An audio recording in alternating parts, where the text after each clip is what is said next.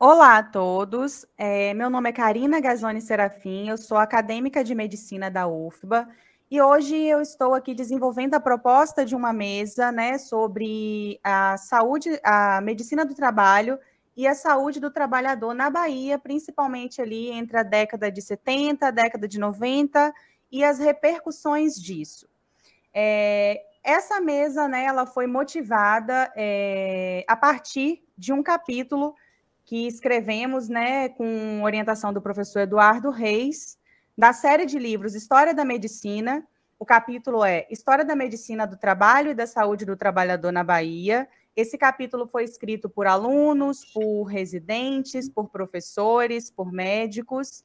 E nesse capítulo a gente abordou né, a relação entre entre a exposição ocupacional e as repercussões disso na vida do trabalhador e como isso esteve atrelado ao longo dos anos com o momento econômico que aquele local estava vivendo.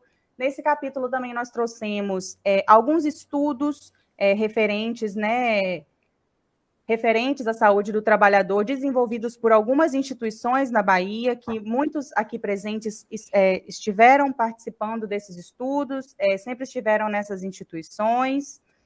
E esse capítulo, né, ele vai abordar desde desde a época da escravidão, ele perpassa desde a época da escravidão, o desenvolvimento industrial na Bahia e como que é, se desenvolveu isso até a consolidação da, da medicina do trabalho, da saúde do trabalhador, da assistência e vigilância aqui na Bahia, né, resultando em programas de residência, resultando em programas de pós-graduação, em assistência mesmo, médica, prevenção, higiene do trabalho.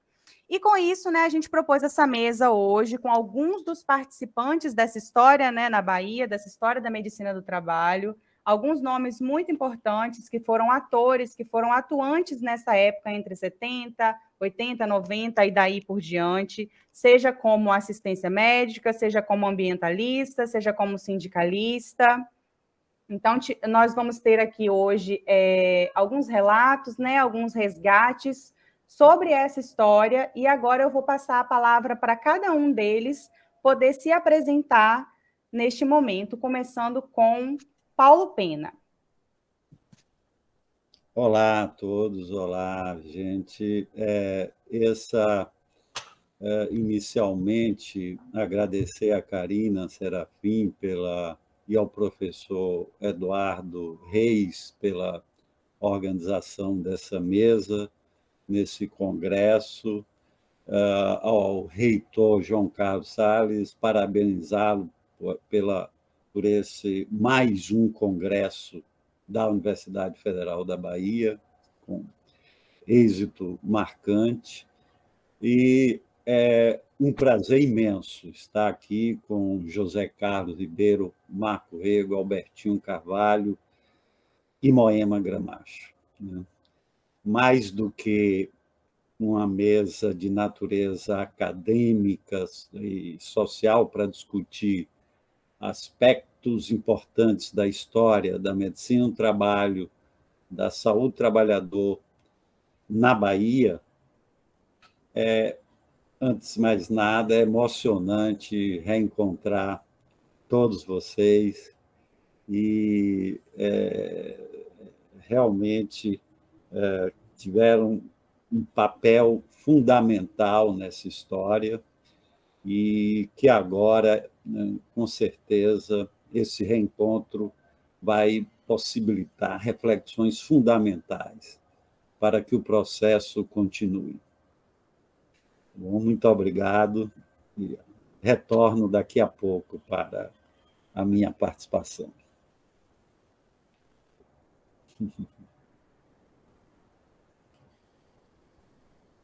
Marco Rego. Bem, saudações a todos. Eu gostaria de abraçar meus colegas aqui na mesa, que muito bem representam a saúde do trabalhador na Bahia. Eu sou Marco Rego, professor titular aposentado da UFBA, Departamento de Medicina Preventiva e Social, também do quadro do Programa de Pós-Graduação em Saúde, Ambiente e Trabalho.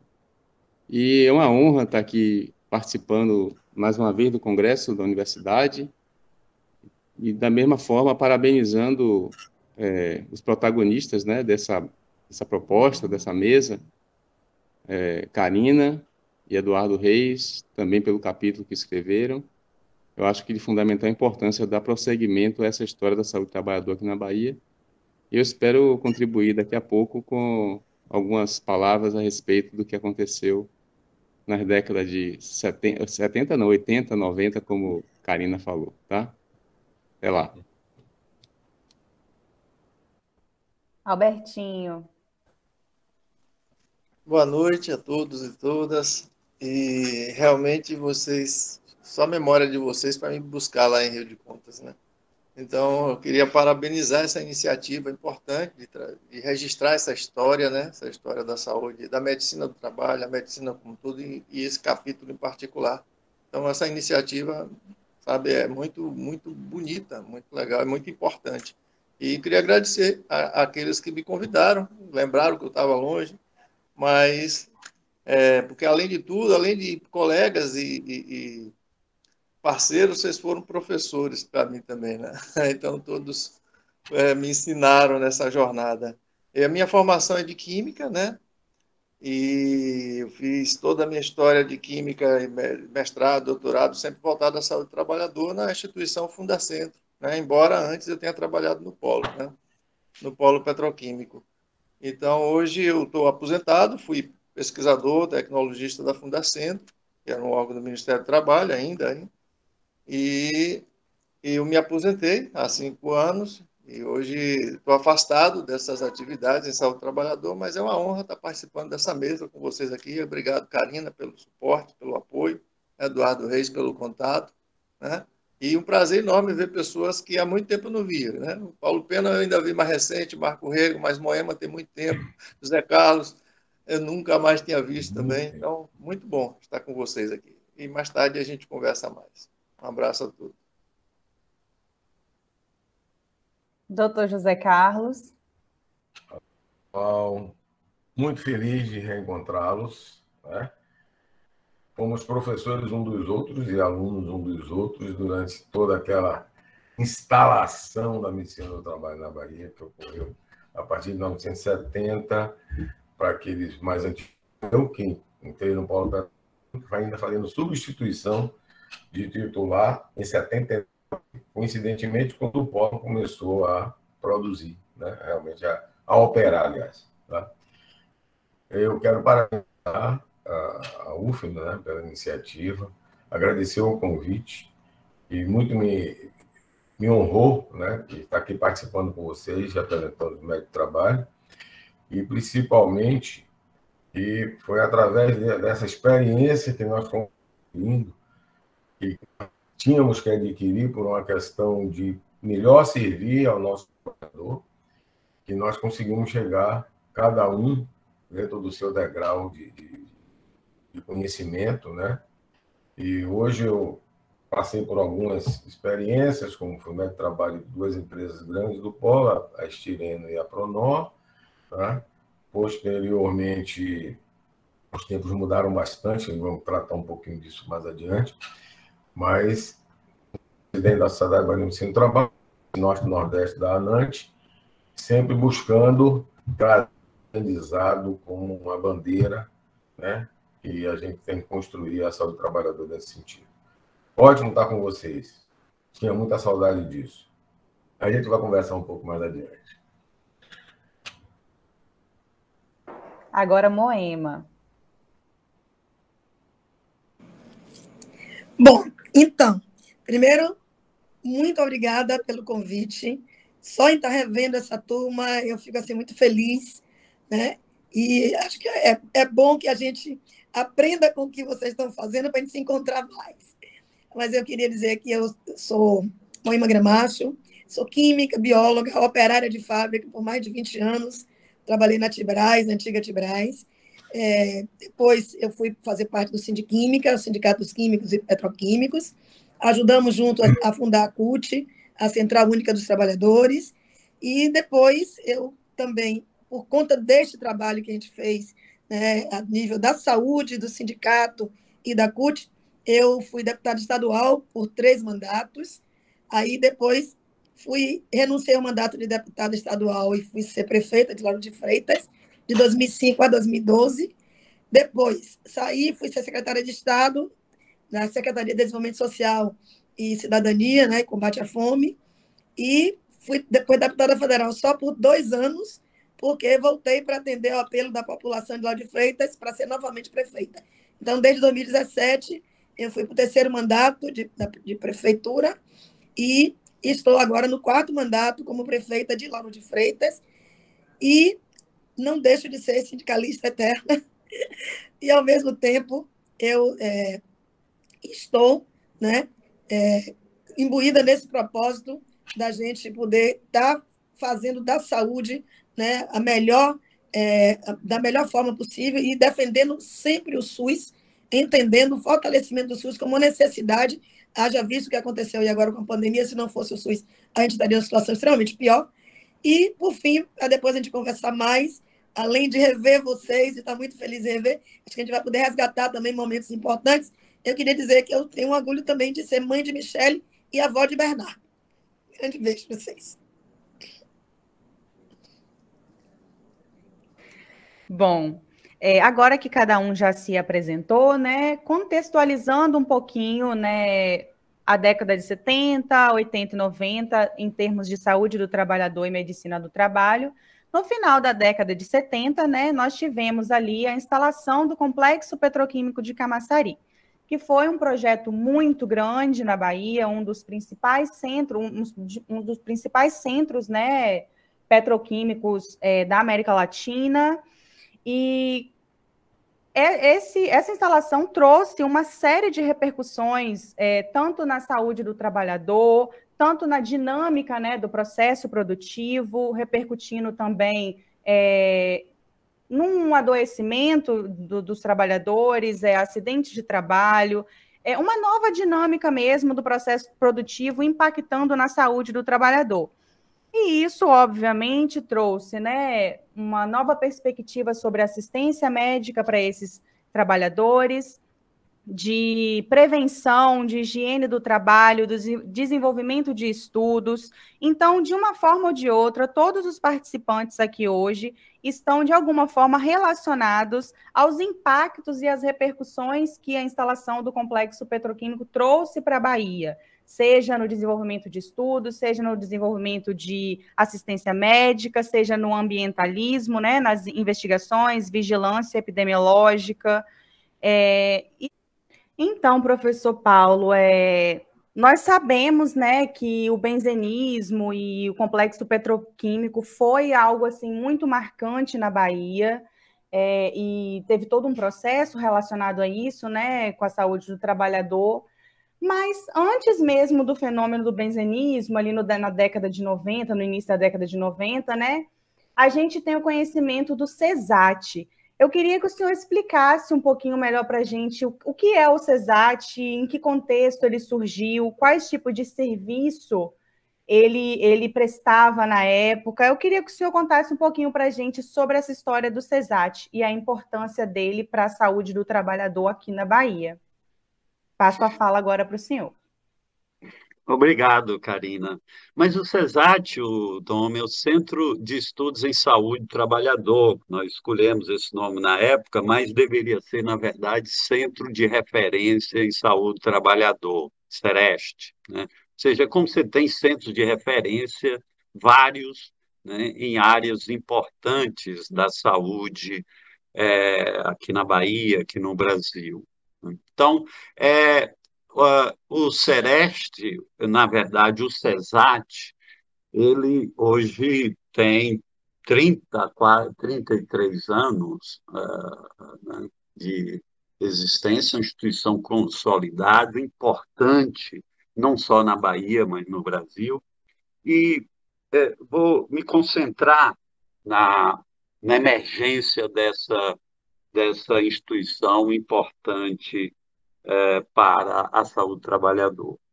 É, nós tínhamos é, e temos, antes de mais nada, uma situação que é importante lembrar. Né? As doenças e acidentes de trabalho representa um, um, um problema maior de saúde pública.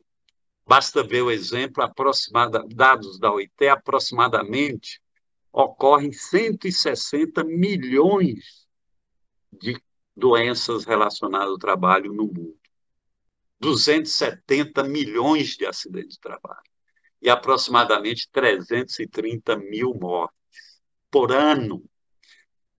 Então, é, é, e nesse caso, é, podemos citar, por exemplo, aproximadamente 100 mil mortes relacionadas à exposição ao amianto. Então, nós estamos diante de uma gravidade, e o Brasil tinha passado nos anos 70, nos anos 80, na época do, do regime militar, o Brasil se tornou campeão mundial de acidente de trabalho, ou seja, o país com maior é, percentual de, de, de, acidentes do trabalho.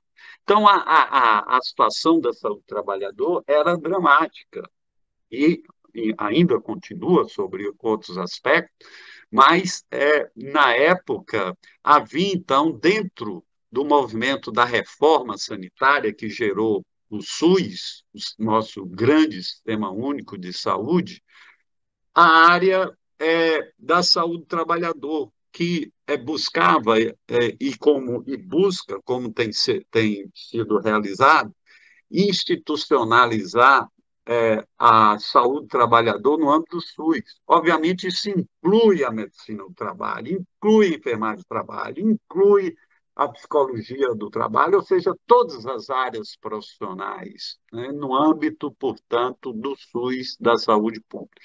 E nos anos, em 1986, a situação na Bahia era extremamente séria, ou seja, do ponto de vista da capacidade do serviço público de diagnosticar identificar doenças relacionadas ao trabalho e da previdência social.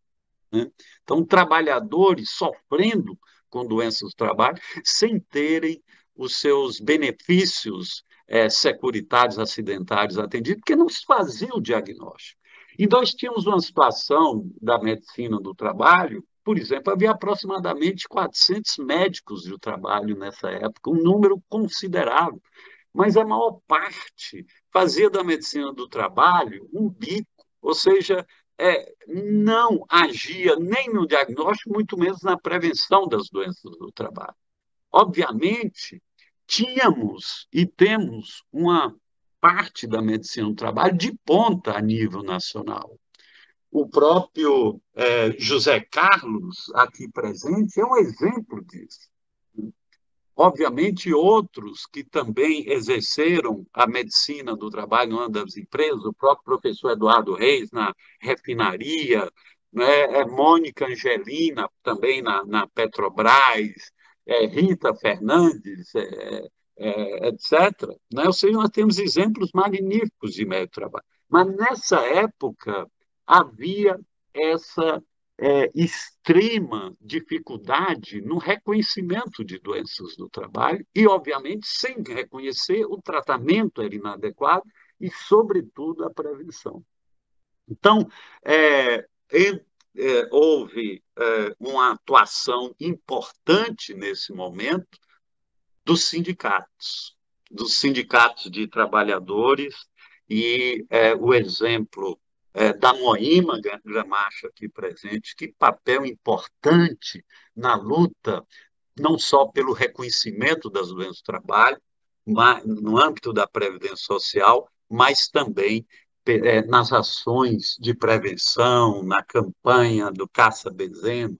Tínhamos também Elísio Teixeira, do SINDAI, outra liderança maravilhosa, importante, tantos outros, é, Salvador Brito, etc., né? não, não, é, não são nomes que, é, é com a mobilização, por exemplo, em, em, em 1987, 86, junto à Previdência Social, manifestação é, de, de trabalhadores é, demandando a ação do Estado nesse sentido.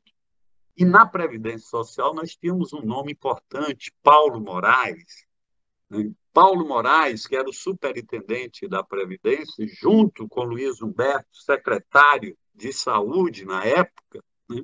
Então, isso criou uma, uma situação institucional favorável para é, desenvolvermos esse processo de implantação da saúde trabalhador no SUS. Luiz Humberto, Secretaria de Saúde, e Paulo Moraes no INAMPS. Porque o INAMPS é que era, na época, tinha uma estrutura imensa de, de, de serviços assistenciais, hospitalares, ambulatoriais, e é, o Paulo Moraes foi que ele me convidou, né, junto com outros, é, na época, Ademar Espínola e Francesco Ripa de Miena, que era um médico do trabalho italiano, né, que é, se tornou meu assessor na implantação do CESAT, né, é, é, nos convidou para é, trazer uma proposta. E surgiu a primeira proposta que nós fizemos de criar um CTR, um Centro Técnico de Referência, ou seja, um ambulatório de referência, é, um ambulatório de diagnóstico de doenças do trabalho. E, graças a, a Moraes, é, implantamos no PAN-Roma uma ala com esses, com a, com a, para o funcionamento desse ambulatório e a reunião e contratação de equipe é, de profissionais na época. Né?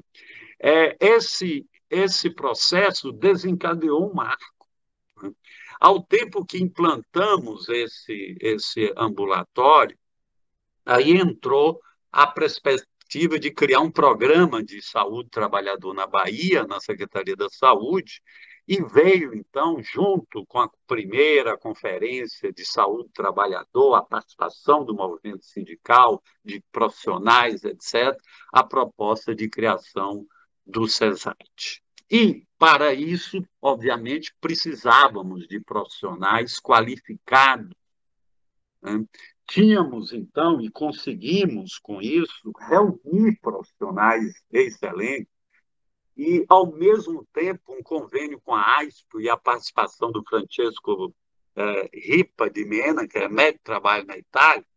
A AISPO, é, essa ONG, inclusive, ela, ela teve um papel fundamental na orientação e implantação do Hospital São Rafael aqui na Bahia, para que o Hospital São Rafael tivesse também uma participação no SUS. Então, a AISPO digamos assim, ela inspecionava a aplicação de recursos públicos italianos uh, aqui na Bahia, e o Hospital São Rafael era um deles. Então, a AISPO, fizemos um, um convênio e conseguimos 700 mil dólares uh, para uh, ajudar a financiar a estruturar o CESAR. Então, tínhamos eh, o Estado, que entrou com infraestrutura, profissionais, etc., e é, esses recursos da AIS, inclusive é, nos possibilitar enviar cinco pessoas para a Itália. O saudoso Luiz Correia, né, já faleceu na área de, de nexo previdenciário, né, na, de, de, entre acidentes, doenças. O Albertinho Carvalho, aqui presente, que foi uma conquista imensa né, a participação dele nesse projeto. Hum, é, ele esteve também, fez essa formação na Itália. Tânia Magalhães, na área é, de diagnóstico clínico né, de doenças do trabalho. É, Mina Cato, na área também de toxicologia. Mauro Cor, ou, ou seja, cinco profissionais é, que conheceram o que havia de mais avançado na Europa em relação à organização de serviços públicos nessa área de saúde do trabalhador e retornaram. E com isso tínhamos já essa equipe que nós montamos no, no desse ambulatório com é, esse, esse grupo que, ao retornar, é, estruturamos então o CESAT, tanto com ação clínica, diagnóstico, nexo causal, reabilitação, etc., junto à Previdência Social, quanto à parte, na época, de higiene é, do trabalho, no sentido de prevenir doenças do trabalho. Então, com isso, montamos essa primeira estrutura, que depois se tornou é, é, essa parte de higiene é, se tornou a mais importante na estruturação da vigilância em saúde do trabalhador. Né? Então, essa foi a estrutura básica do CESAT. E é, eu, o tempo é pouco, né? mas, além desses nomes citados, é importante trazer à memória nomes como é, Joselita Sobreira, pneumologista que veio compor essa equipe, que foi central no diagnóstico de pneumoconiose, das doenças do trabalho causadas pela sílica eh, e demais outros agentes eh, desse campo, né, trabalho importante na época. Né? É, outras, como é, médicos que estavam né, residentes na época, que depois tiveram papel central, como o próprio Marco Rego, aqui presente, né?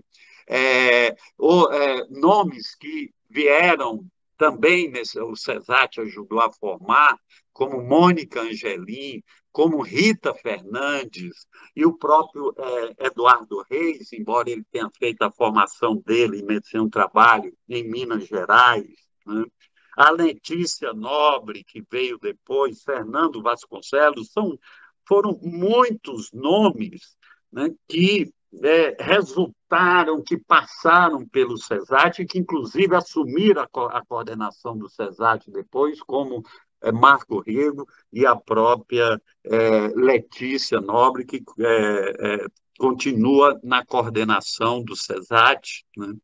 Então, é, profissionais. Com isso, nós conseguimos estruturar no serviço público equipes extremamente qualificadas. Eu repito, no polo petroquímico, principalmente, na refinaria, no polo petroquímico, nós tínhamos médicos muito bem qualificados. Faziam e fazem a medicina do trabalho de ponta, exemplo dos Zé Carlos, que eu já citei aqui. Né?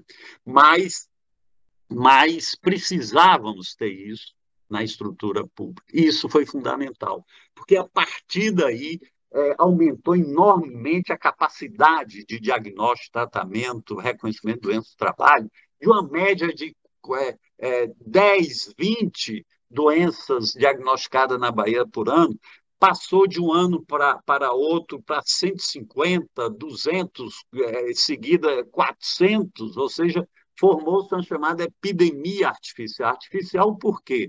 Porque aumentou o número é, de diagnósticos, aumentou, aumenta, a, a, aumentou a, aumentar as notificações, mas os, a, os doentes estavam aí. Não era uma epidemia de fato, era uma epidemia é, é, é, causada, entre aspas, uma epidemia entre aspas, né, porque houve aumento de notificação de é, perdas auditivas, é, depois veio o benzeninismo, é, é de é, les, é, enfermidades, saúde mental, etc.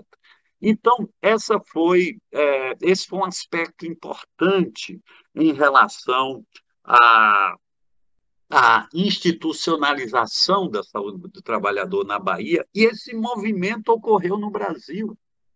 É, Minas Gerais estruturou também centro de referência. São Paulo, que já vinha antes é, da Bahia, é, organizando programas de saúde do trabalhador, também avançou enormemente na implantação de serviços como esse. É, Rio Grande do Sul, etc., outros estados, Rio de Janeiro também, né, importante citar, enfim, é, organizaram é, esses centros e esse, portanto, é um capítulo importante nessa história. Né? Então, tivemos aí essa, associação de atores profissionais da medicina do trabalho, da enfermagem do trabalho, da, é, da, da assistentes sociais, da psicologia, etc., que passaram a desenvolver a, a atividades é, no SUS, no CESAT, é, o movimento sindical, extremamente importante, e é, gestores da época, como eu citei, Paulo Moraes e, é, o próprio Luiz Humberto, secretário da Saúde. E é, a, creio que o, o, é, os outros participantes irão completar ou complementar aspectos importantes dessa história e da participação do CESAT. Eu gostaria é, de finalizar fazendo, ah, portanto, é, homenagem a pessoas que se foram nesse momento. Né? Já citei Paulo Moraes, já citei Joselita é, Sobreira, né? mas é importante lembrar nomes como Carlos Valadares. É, Carlos Valadares é, foi um grande nome da medicina do trabalho na Bahia, atuou na Petropaz como médico do trabalho, foi assessor de sindicato, é, médico do trabalho, né? e é, faleceu é, recentemente, é, representa uma perda importante. O próprio Luiz Correia, também que eu já citei, médico do trabalho do Ministério do Trabalho, que fez parte do CESAR, com a perda importante nesse processo. Né? E é, lembrar o papel dos médicos assessores sindicais que foram fundamentais nesse processo, ou seja, é, é, é participavam no sentido de dar suporte as propostas dos sindicalistas na luta, na defesa da saúde dos trabalhadores. O próprio Marco Rego teve uma ação central nesse processo aqui presente. A Rita Fernandes também, os dois no Sindiquímica, a Mônica Angelim no Sindai, o próprio Carlos Valadares, que eu citei aqui, é, no Sindicato dos Bancários, tantos outros assessores sindicais é, que, é, e que, com isso, permitiram a, a, e colaboraram na formação de dirigentes sindicais no âmbito é, da, da compreensão do que é essa dimensão do processo de sofrimento do trabalhador decorrente do adoecimento no trabalho, decorrente do acidente no trabalho e, infelizmente, é, de muitas situações fatais causadas pelas precárias condições de trabalho. Então, obrigado, Karina, e é, vamos continuar ouvindo é, os outros palestrantes.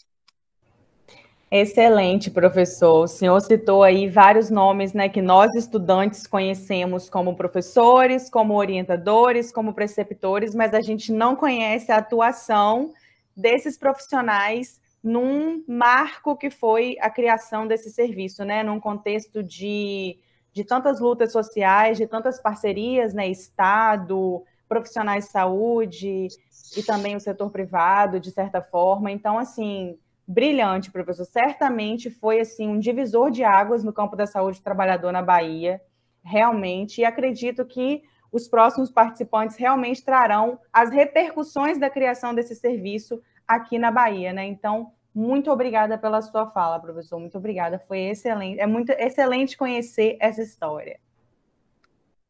Obrigado.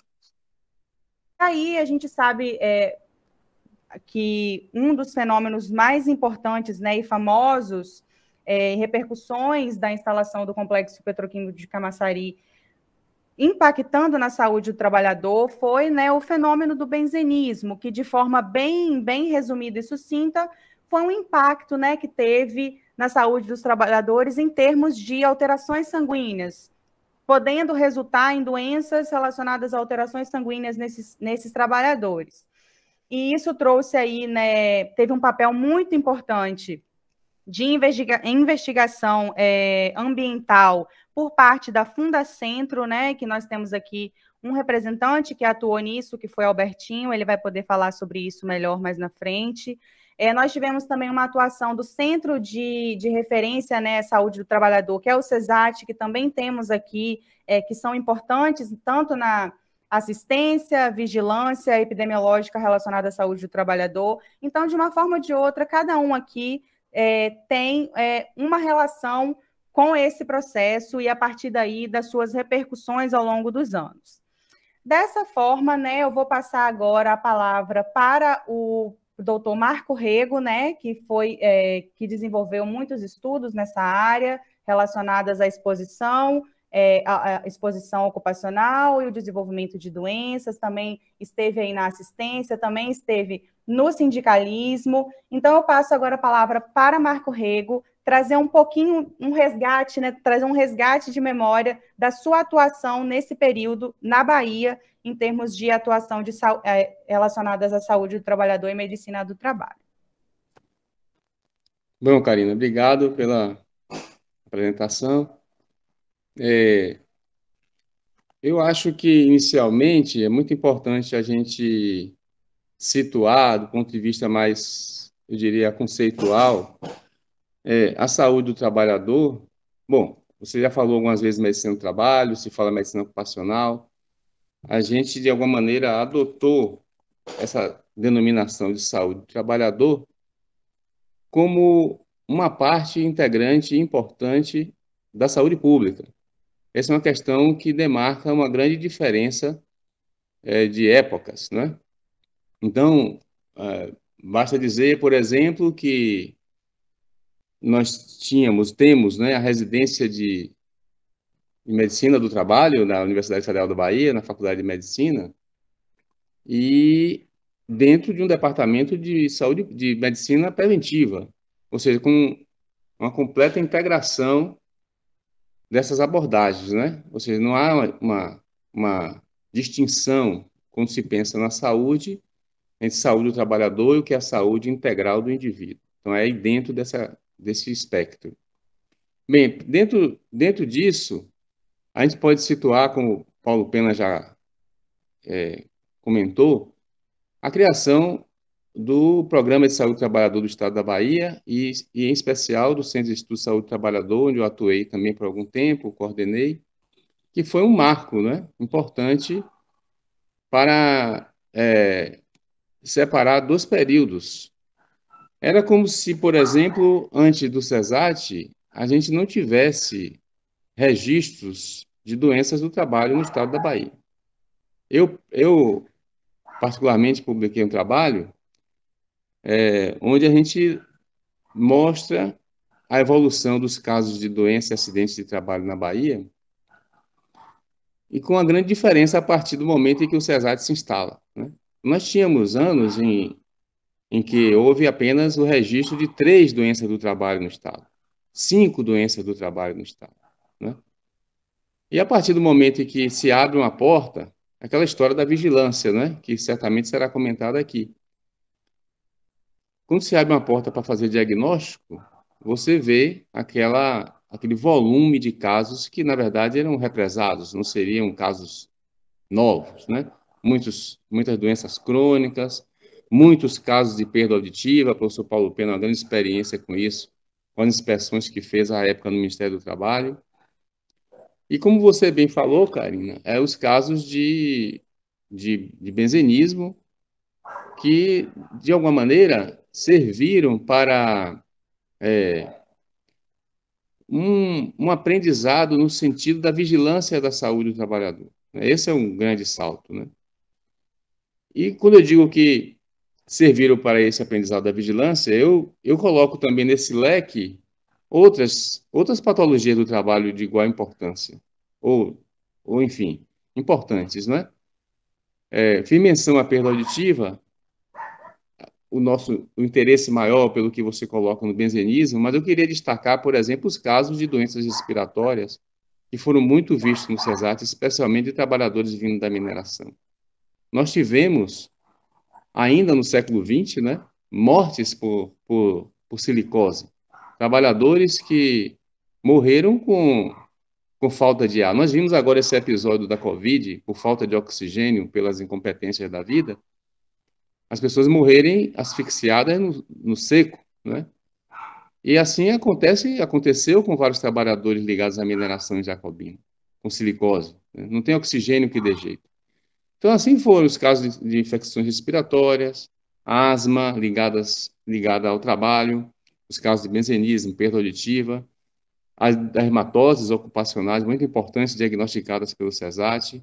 E depois você vem por um outro período com esse incremento da tecnologia, com grande diagnóstico, né, com grande incremento no diagnóstico das lesões por esforços repetitivos, os, os agravos à saúde mental dos trabalhadores. Portanto, nesse sentido, é, a criação do centro nos leva a um reconhecimento do que era represado, não era conhecido.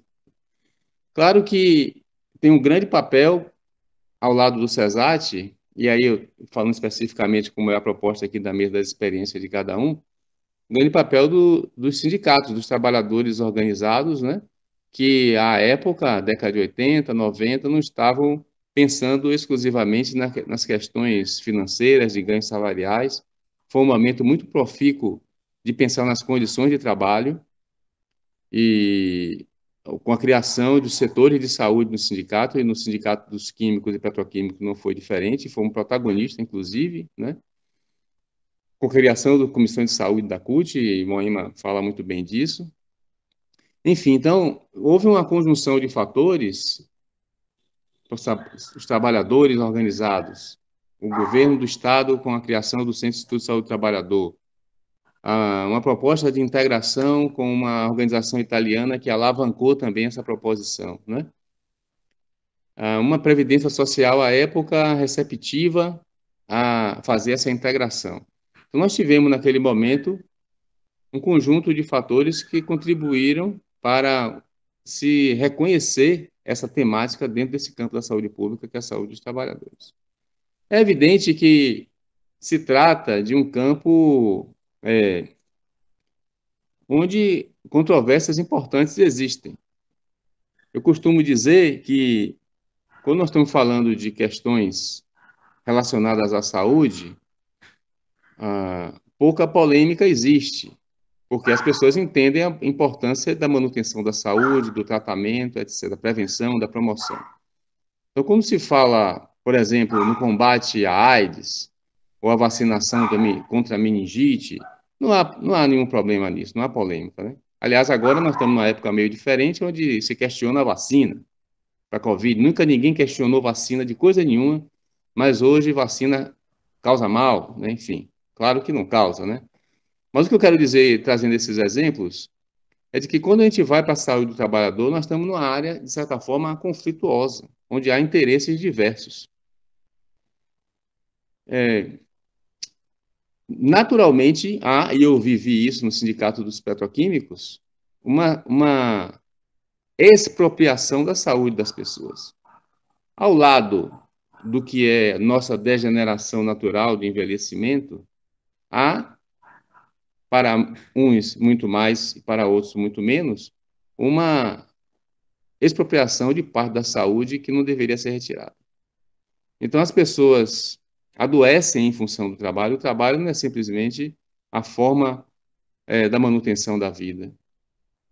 O trabalho termina em muitas circunstâncias, em muitas situações, especialmente aqui entre nós, ainda de terceiro mundo, essa é a realidade, com essa queda aí de aproximação para o quarto, né, vamos dizer assim, como nós estamos vivendo hoje, há essa é, essa, essa exploração da saúde. Né? Então, as pessoas adoecem, as pessoas ficam sequeladas, as pessoas morrem e temos todo um problema de reparo disso.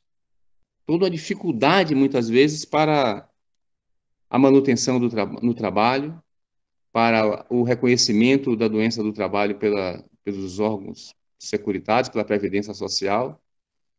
E, no final das contas, nós temos terminamos tendo uma leva de trabalhadores que perderam a saúde e muitas vezes perderam também o trabalho. E pior do que isso é que às vezes perderam por conta dessa própria doença. Né?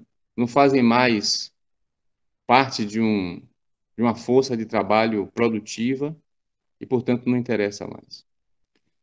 Bom, de todo modo, é, há uma evolução, né? há uma, uma melhora, um entendimento de que as coisas não devem ser dessa maneira. Mas eu, eu reafirmo que nós estamos nesse campo conflituoso. Quando eu digo que é uma melhora, e eu posso estar errado, porque também não tenho acompanhado tão de perto ultimamente, eu, eu devo recordar, por exemplo, que no início, nesse período é, que é o objeto principal da mesa, década de 70, 80, 90, nós tínhamos dificuldade, é, salvo exceções, né? aqui Zé Carlos, que é uma dessas exceções, em é, ter o diagnóstico da doença por parte das empresas, nós tínhamos dificuldade é, de ter resultado dos exames para os trabalhadores é, verem seus achados, seus resultados. Né? Eu próprio, como médico de química, tive em muitas situações de conversar com os colegas, a, a grande maioria receptiva, no sentido de é, informar aos trabalhadores sobre sua saúde, entregar os resultados dos exames, né? E, e, enfim, então esse era um grande problema. Eu, como médico sindicato, recebia a todo momento essas, essas queixas. Mas isso evoluiu, né? Eu ainda peguei um período grande no sindicato onde isso não era mais problema. Mas esse foi realmente um, um entrave em algumas, em algumas situações, né?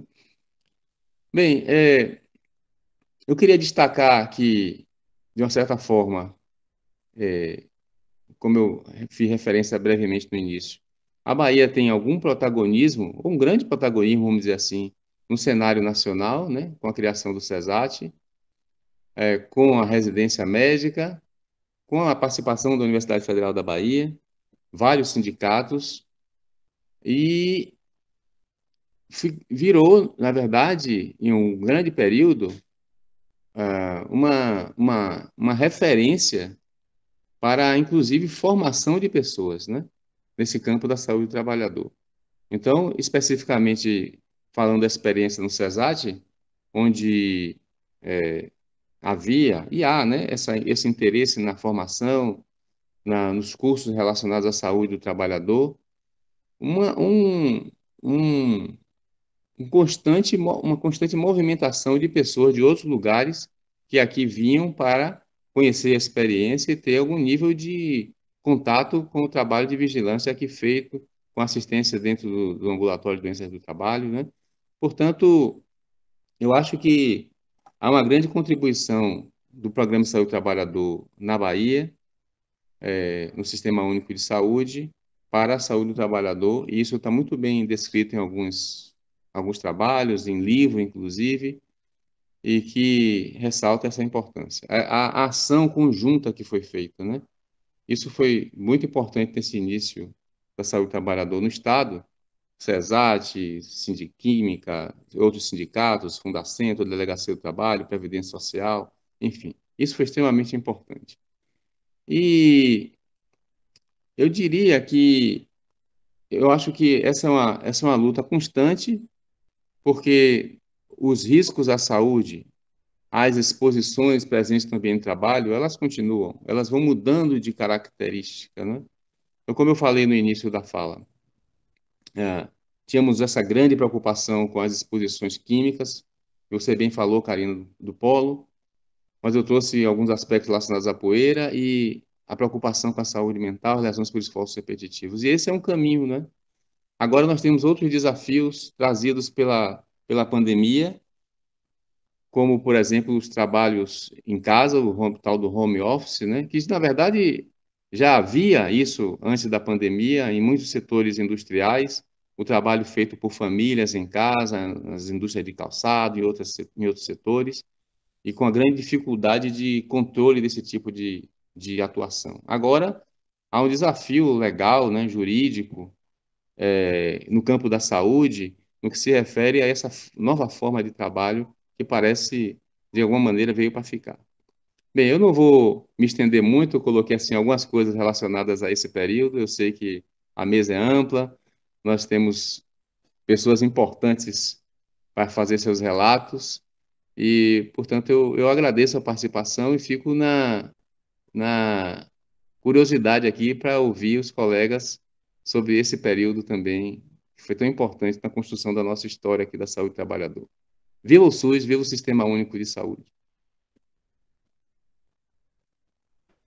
Exatamente, é, professor Marco Rego. Inclusive, nos meus estudos, né, que eu tenho feito para para o desenvolvimento do meu TCC e também para o desenvolvimento do livro, do capítulo, é, encontrei num, num, estudo, acho que feito por, pelo senhor e pra, pela professora Rita pela professora Rita e mais alguns professores, né, que fala, né, que, é, que fala justamente isso, que a Bahia foi pioneira em vigilância da saúde do trabalhador, relacionar, colocando no SUS, né, colocando dentro do SUS esse papel, né, de, de assistência à saúde do trabalhador.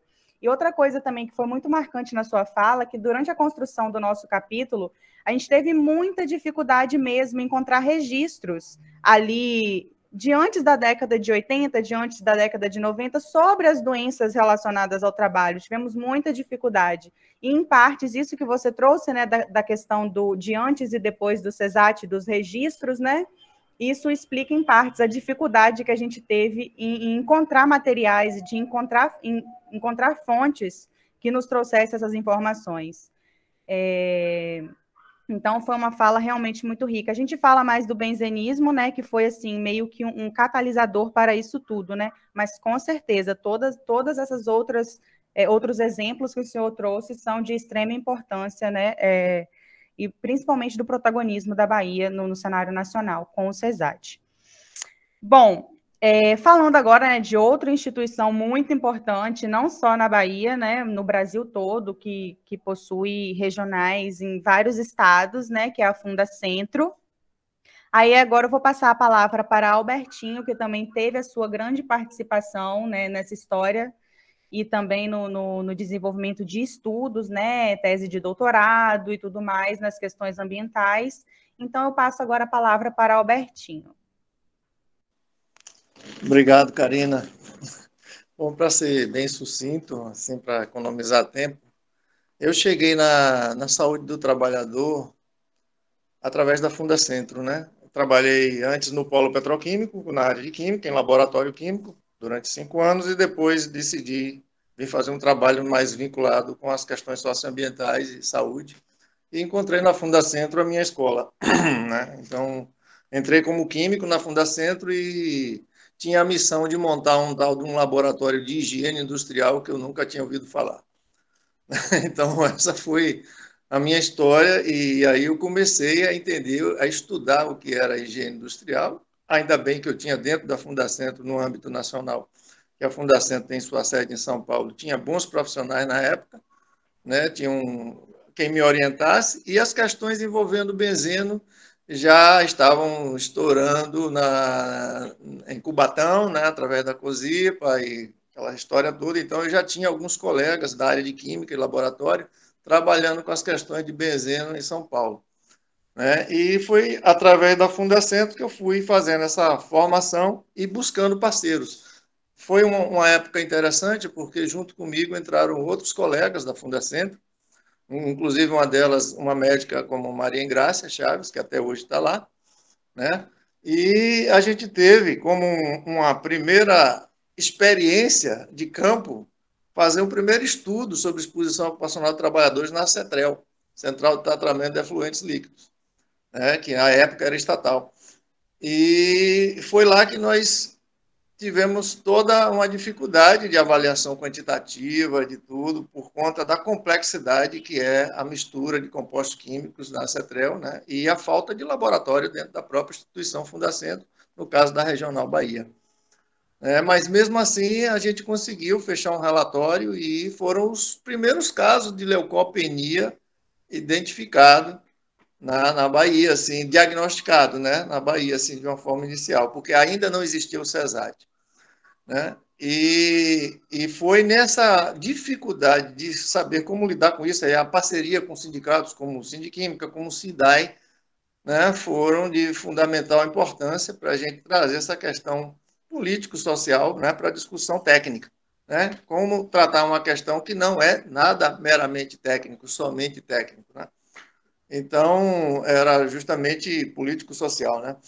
E a partir dessa discussão foi que a gente foi trabalhar com os parceiros, com o Ministério do Trabalho, aí é onde eu conheci Luiz Correia, saudoso nosso colega Luiz Carlos Correia, médico do trabalho muito atuante, o próprio Paulo Pena, né, e outros tanto. E conhecendo os médicos da base sindical, conhecendo a turma da base sindical, como Moema, Salvador, Marco Rego, né, e dentro dessa linha, tentando implantar o laboratório de higiene industrial da Fundacentro, cujo governo federal não, não tinha recurso para isso, né? Então, é, a gente, a partir desse diagnóstico e da questão que, se, é, que emergia dentro do polo petroquímico, a gente participou, teve a felicidade de participar desse nascimento do que a gente chamou na época de PROSAT, Programa de Saúde do Trabalhador, né, da, da Bahia, e que deu origem à fundação do, do CESAT. Né? E eu entrei junto com uma colega minha também, que foi muito importante na criação do laboratório nessa atuação, foi Mina Cato, a toxicologista, né? que também é aposentada hoje pela Fundacentro, morando nos Estados Unidos. E a gente participou desse grupo, né? teve a felicidade, coordenado por Paulo Pena, ilustre amigo e colega Paulo Pena, de, a partir de um apoio junto com a ASPO, né? Associação Italiana, que estava dando esse fomento financeiro para a cooperação entre Bahia e Itália, para a formação de pessoas na área de saúde trabalhador. E a gente teve esse grupo inicial, que, do qual Paulo Pena coordenava, e eu participei como químico, junto com um colega químico, Mauro Corne, que passou a ser um dos um posterior gestor do CESAT por um determinado tempo, a colega Minacato, o colega Luiz Corrêa, o saudoso Luiz Corrêa, mas, e a, a doutora Tânia Magalhães, que é, né, que fomos a primeira equipe aí para a Itália, fazer esse treinamento de seis meses, em toda a questão de diagnóstico, ambulatorial, laboratório de higiene, como fazer análise, como fazer levantamento de campo, avaliação ambiental, treinar com equipamento. Então, passamos esse período e voltamos e tivemos a felicidade, e aí Paulo Pena acho que tem uma memória melhor do que a minha, e vai ter todo esse trabalho de de relatar esse evento que foi a criação do Prosat e do CESAT, né? E eu tive a felicidade de participar um tempo, também como membro do CESAT, nessa questão de higiene industrial. Né? Mas logo depois estouraram coisas como problemas de morte de médico, de trabalhadores, seja um médico, seja um trabalhador, né, nitrocarbono, que gerou todo um trabalho de avaliação ambiental que foi a Fundacentro, e a gente já tinha conseguido uma implantação básica, né, de um cromatógrafo, etc., com a presença de, na época, um colega do, da DRT, Carlos Roberto Miranda, tá aposentado também, que era o gestor da Fundacentro, que conseguiu um recurso para a gente montar um laboratório pequeno, com cromatografia, gás, tudo. E foi assim que foi nascendo o laboratório da Fundacentro, e a gente foi se tornando assim uma uma referência na discussão do, das avaliações ambientais, não só para o benzeno, mas como substâncias químicas de modo geral, principalmente os compostos orgânicos. Né? E, e aí nasceram as comissões nacionais permanentes do benzeno, né, do qual eu fui membro por anos, membro como seja como representante da Fundacentro, seja como consultor técnico da bancada de governo, né, e participei sempre disso. E tivemos a felicidade de, aqui na Bahia, a gente criar a primeira instrução normativa sobre avaliação ambiental de benzeno, com participação né, de técnicos exclusivamente da Bahia, seja de empresas, é, eram técnicos de empresa, nós da Fundacentro, pessoas do CESAT, da DRT. Então, nós criamos a IN01, de 1995, que é a primeira instrução normativa que detalhava como deveria ser feito, de fato, uma avaliação ambiental para uma substância química. Infelizmente, a pressão era sobre benzeno, então ela teve que ser específica para benzeno, mas na realidade é uma instrução normativa que se aplicaria a qualquer agente químico. né? Desculpe. Então eu tive essa felicidade de participar dessas, dessa, desses eventos muito importantes no Estado, né? A ver o CESAT sair de um mero gabinetezinho lá no Pan Roma e criar sua sede própria, né? várias discussões dentro do, do sindicato sobre isso. Nós também tivemos uma participação na, na criação, né? na, na, criação dos cursos de higiene ocupacional da, da UFBA. Então, nós trouxemos essa formação para a Bahia, porque nós tínhamos pessoas técnicos competentes nas empresas e no próprio governo, mas não existia, existiam os cursos de medicina do trabalho e segurança do trabalho, enfermagem do trabalho, mas não existia um aprofundamento na matéria higiene do trabalho, higiene industrial, que a gente depois denominou mais higiene ocupacional, né, principalmente na questão de avaliação de agentes químicos.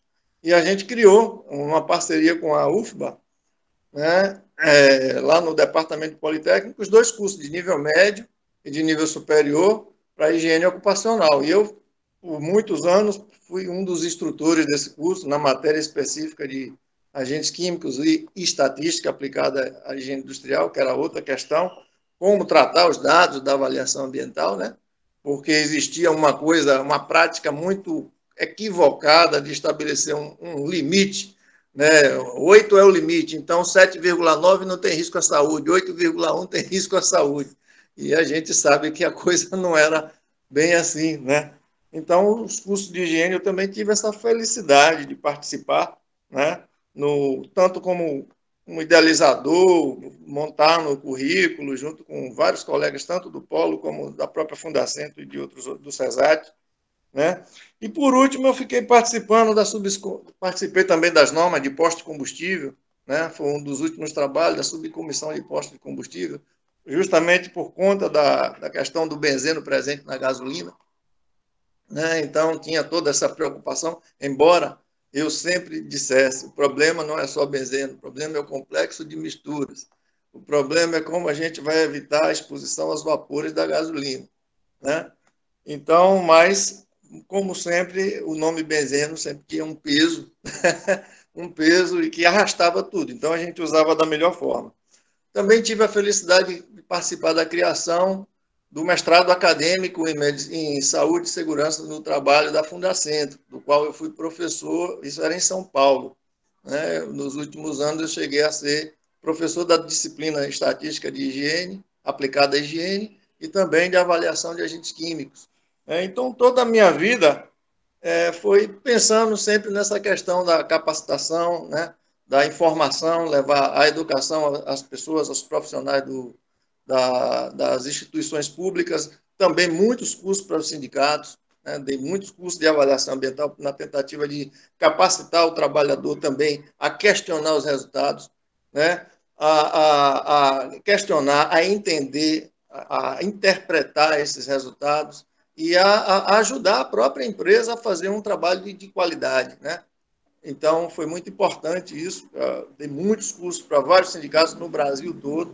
E a gente passou aqui, eu acho que o grupo da Bahia, e aí indiscriminadamente, é, tanto o governo como empresas, ele passou a ser uma referência nessa questão de benzeno e avaliação ambiental, diagnóstico, né, para o Brasil. É, eu fui dar cursos assim em Rio Grande do Sul que eu vi os gaúchos, alguns gaúchos dizendo, mas precisou ver uma pessoa da Bahia para ensinar. Aqui eu digo, vocês não podem saber de tudo. Querem, mas não podem. É, então, eu tive essa, essa passagem ao longo dos meus 30 e poucos anos na Fundacentro, que foi marcada por muitas lutas, né? E, realmente Benzeno sempre estava nos acompanhando. É, fiz minha, meu mestrado baseado em metodologia analítica para avaliação de benzeno, tolueno, chileno. Fiz o doutorado pensando na exposição de trabalhadores de carvoaria a agentes cancerígenos, né, que foi um, do, um, trabalho que encerrou em 2005, então fiz um trabalho pioneiro, porque nunca foi feito um trabalho desse nível.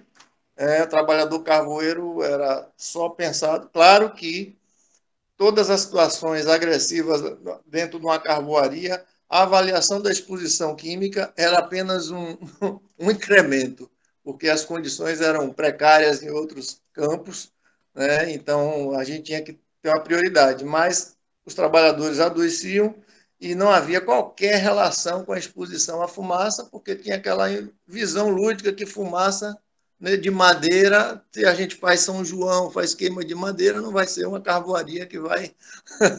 Quando na realidade existe um coquetel de substâncias irritantes e cancerígenas sendo emitida em grandes quantidades, né? Então, Karina, eu acho que para não me prolongar muito, eu fiz um, um, relato da minha passagem aí nessa história, né, sobre é, a gente tentou fazer um projeto carcinogênico no polo, né? Eu fui um dos coordenadores, chegamos a ter apoio da FAPEX, mas infelizmente questões político é, o projeto não teve sequência e ele teve desdobramento justamente voltado para as cargoarias. Né? Então, foi uma forma da gente dar uma continuidade a esse trabalho de exposição a agentes cancerígenos, é, que era uma coisa que estava faltando, para tirar o foco e mostrar assim, não existe só benzeno como cancerígeno, né? e nem como agente químico é, poluente né? e tóxico. Então, existe, em todo uma, existe toda uma grama de substâncias. Então, era a minha contribuição. Queria agradecer a todas as pessoas que passaram por essa história, né? Moema, Salvador, é, Itamar, é, várias pessoas. Eu sei que eu vou esquecer nome quando a gente começa a citar, né? o saudoso Helstro, o Valdemir do, do, do, da Nitrocarbono, o, o pessoal todo do, do Sindiquímica, Marco Rego, os colegas que já se foram também, né? como Correinha, e a vocês por darem essa oportunidade. Né? Na Fundacentro eu tenho uma grande gratidão, porque tive, pude participar dessa história. Infelizmente, tive que presenciar na minha saída o fechamento do laboratório. E, por ironia, eu consegui entrar na Fundacentro para montar um laboratório, consegui montar a duras penas um pequeno laboratório que fez o que pôde, mas ao sair, eu vi o laboratório também ser fechado. Né? E hoje, praticamente, a regional quase não existe. Está apenas em processo de aposentadoria das pessoas e pronto. Mas é isso, é um movimento para gerações que chegam para vocês, que é retomar essa luta né, e dar um novo norte, um novo rumo nas tendências atuais né, do, do mundo do trabalho e do capital. E que a gente tem que pensar em mudança climática e hoje minha atuação é totalmente voltada para a questão de educação ambiental, de permacultura, de agricultura regenerativa, por entender que a nosso planeta hoje fazer isso. Então, obrigado pra, pela oportunidade. Um abraço em todos e todas aí.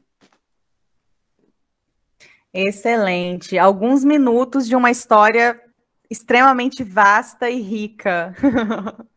Realmente, muitos foram os frutos, né, do ponto de vista normativo, educacional. Mais uma vez, assim como o professor Marco falou, do, do protagonismo da Bahia, né, fora da Bahia, né, no Brasil muito, muito, muito relato muito rico mesmo, porque como vocês todos já falaram aqui, né, às vezes o foco fica em cima do benzeno, né, os estudos, o que a gente vê na literatura é o benzeno, mas é muito além disso, é muito mais vasto que isso. E, e esses relatos que vocês estão trazendo aqui hoje são, assim, extremamente significantes, principalmente para a gente que é estudante, né, e quer conhecer para além do benzeno, para além do que foi o benzenismo, então, excelente, excelente mesmo, Albertinho, muito obrigada. E agora, né, passando para uma experiência que a gente tem de Dr. José Carlos, né, como médico do trabalho, atuante no complexo petroquímico, eu queria que agora ele trouxesse para a gente esse ponto de vista, né, como foi a atuação, é, o que foi que ele presenciou lá, é, quais foram as repercussões. Então, passo a palavra agora ao Dr. José Carlos. Pois é, não posso deixar de começar dizendo que Iniciei minha atuação no polo petroquímico, ainda aprendendo, cada dia a gente tem que aprender realmente, né? iniciando o aprendizado da medicina do, do trabalho, substituí uma licença de uma médica, e fui trabalhar numa empresa que era a maior consumidora de benzeno. Aquilo foi um desafio para mim, comecei a estudar bastante. Era, vamos dizer assim, não não tinha aquela época a repercussão que o início dos anos 90 é, explodiu com a questão de Cubatão, né? Fim dos anos 80, início dos anos 90, mas que era um desafio para a gente estudar. Entrando e saindo nesse período de, de, de, de fui contratado por uma empresa, aí vim com isso.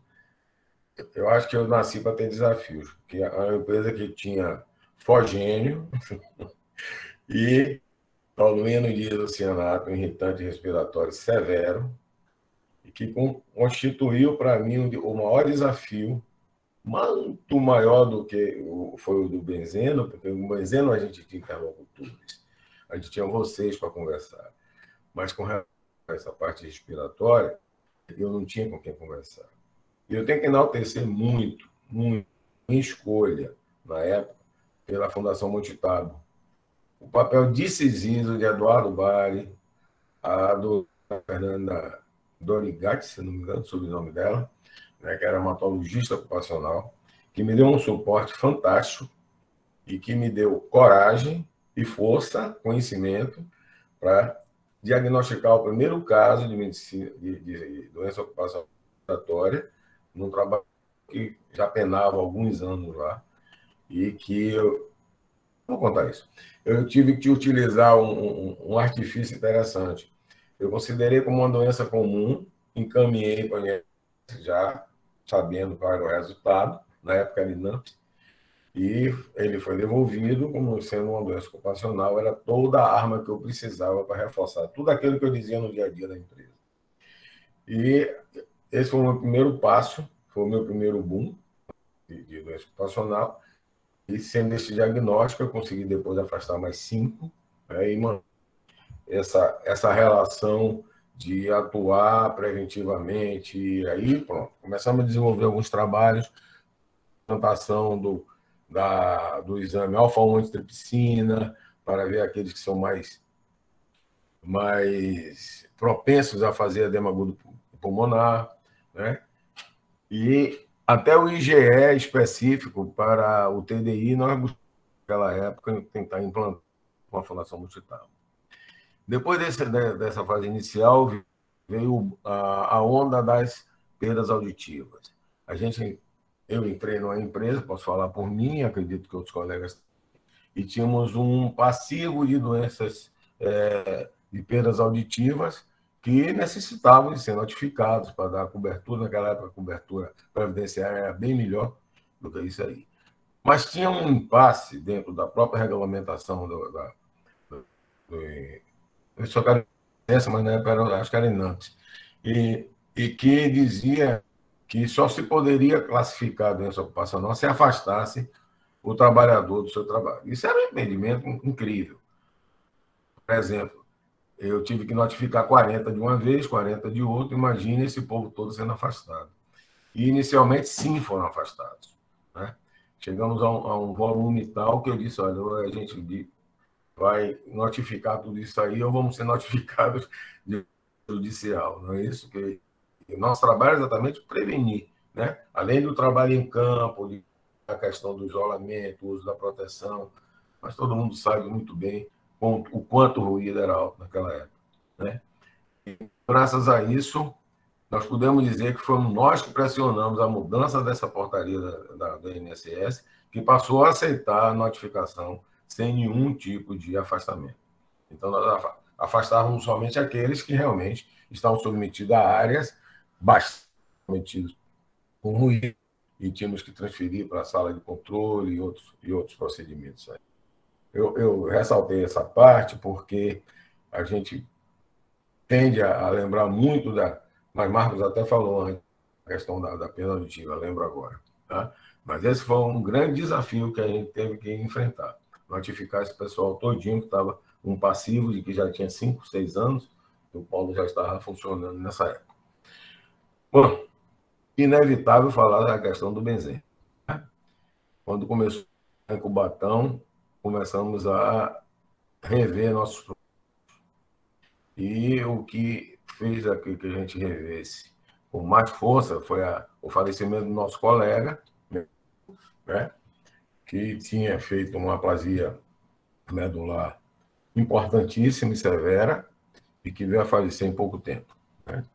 Então, essa revisão tinha que passar por uma revisão ambiental também, muito forte. E estamos muito né, com a participação do pessoal da Fundação. Essa já, nós já tínhamos é, com quem conversar. Nós, médicos das empresas, que vivíamos dentro das empresas, é, sendo desafiados dia a dia, passamos a ter que discutir com as pessoas que entendiam daquele assunto. Né? E eu fui desafiado por. O... Eu, na época, eu era coordenador da comissão. Eu chamava Comissão de médica, nome que a gente não gostava, mas que ninguém queria mudar. Hoje se chama de saúde do trabalhador do COFIC. E graças ao COFIC tem uma estrutura montada e voltada, né, exatamente para dar suporte aos profissionais de saúde e segurança, foi que nós conseguimos realizar o, aquele primeiro seminário de benzeno. Não sei se todos lembram, né? mas aquilo ali foi o seguinte: ele nasceu, nasceu assim de supetão, quando eu fui chamado para o que vocês vão fazer com essa questão do benzeno. Eu disse: me dê um hotel, que é conversa. E aí foi o, o grande desafio foi esse: conseguir um hotel que nós reunimos todos os atores. Então, pedimos a presença do Sindiquímica, do CREMEB, do, do, do, do, próprio Sindicato dos Médicos, nós temos um colega que tinha falecido, pedimos a, a representação dos trabalhadores e fizemos. Eu lembro que esse seminário, o Emma lembra disso também, foi o primeiro primeira vez que no Brasil todo mundo discutiu esse assunto. A gente sempre foi protagonista, quando vocês falam nisso aí. Eu lembro imediatamente desse caso, porque foi aí que nós plantamos a semente do PPLB que existe hoje. Nós que eu falo, não somos nós médicos da empresa, nós todos, comunidade médica da Bahia, voltados para a medicina do trabalho. Nós todos plantamos isso. O PPLB veio depois dessa semente. Alguns anos depois, mas veio. E nós fizemos o primeiro, Fizemos um documento, esse documento, que foi o primeiro protocolo em que a gente deu um norte para o que estava acontecendo.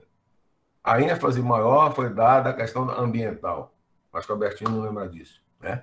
A questão ambiental. Se não tivermos uma base para isso, nós não podemos dizer que leucócito é 5, é 10, é 15, que era grande não, na época.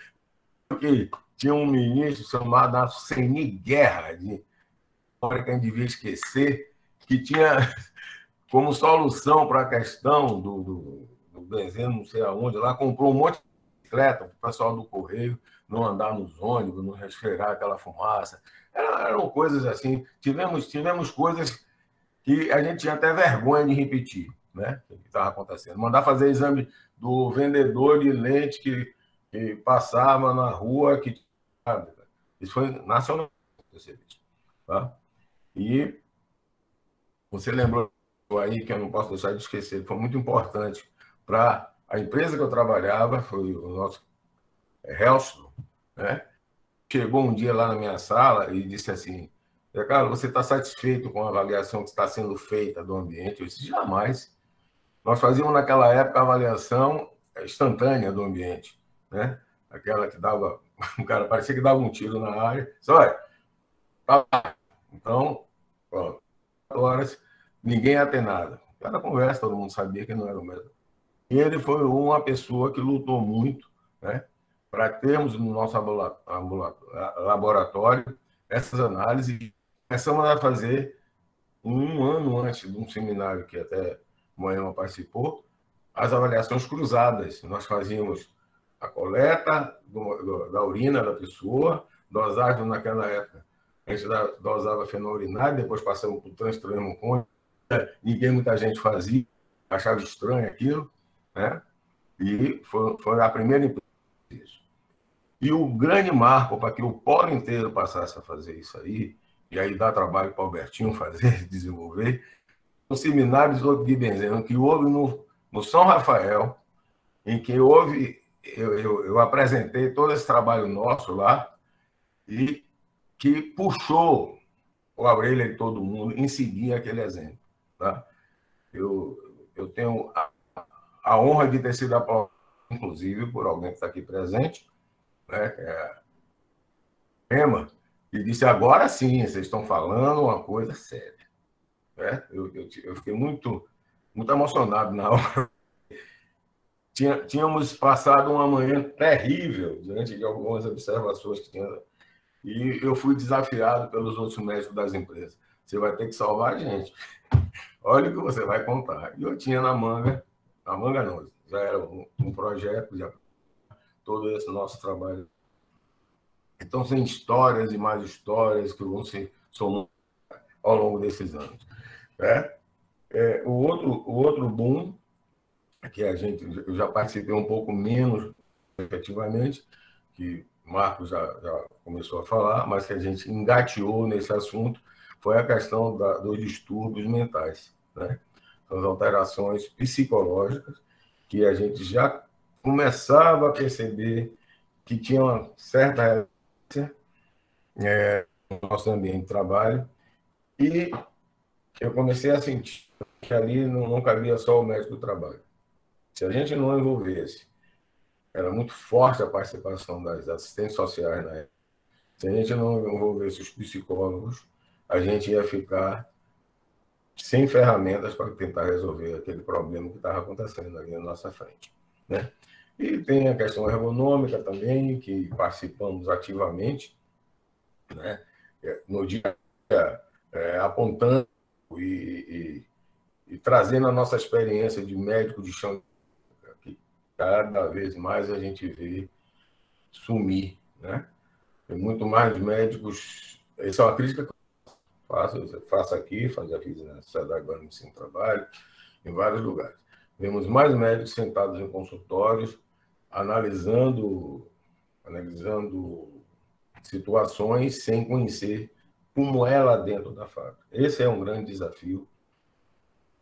A gente pensa com o tempo a automação iria substituir tudo isso aí.